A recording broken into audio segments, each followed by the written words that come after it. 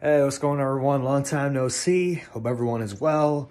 Uh, just got some updates for you. The president of the Packers said that they did get permission to uh, let the Jets talk to Aaron Rodgers. It's like they want to move on now, according to U Stadium and a bunch of other reports out there. Um, it's kind of what we we've been thinking, but they want to go at Love this year, so we'll see what happens. Retirement or Jets? James Robinson is now a free agent now as well.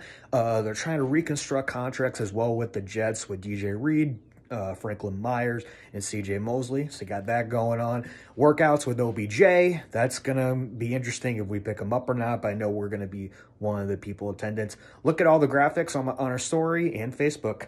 I'm Italy Jet. And Sauce Gardner keeps recruiting OBJ, and he's on a recruiting high right now.